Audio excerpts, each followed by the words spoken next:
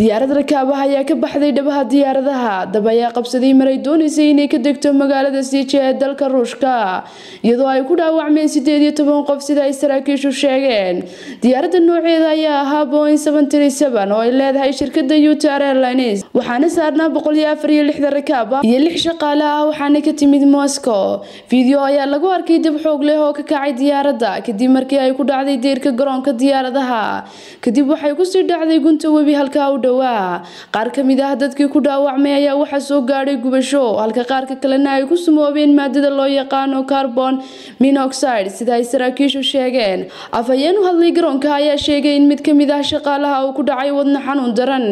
Intii lagu jiray howlgalka samata bixinta diyaaradda ayaa isku dayeysay inay soo degto iyadoo ay jiraan dabaylo iyo roobab xoog leh. Subaxdii sabtida sida ay ku soo warantay warbaahinta ruushka. Halka hoose ee diyaaradda xamuulku ka qaado iyo baal ayaa dhaawac soo gaadhay kadib markii ay ka baxday. Dhabaha ay diyaaraduhu ordaan iyadoo markaa kadib baalka bidixuu dab qabsaday. Saddex ka mid ah dadka dhaawacmay ayaa carruur ahaa guddida baaritaanada ruushka ka socda ayaa bilaabay baaritaano dembi inay ku sameeyeen shilkaasi. Waa shilkii saddexaad ee ugu weynaa shilalka diyaaradaha ee dalkaas ka dhacay tan iyo labadii kun iyo shan iyo tobankii. Asma cabdikariin axmed asmaindha lacag star t v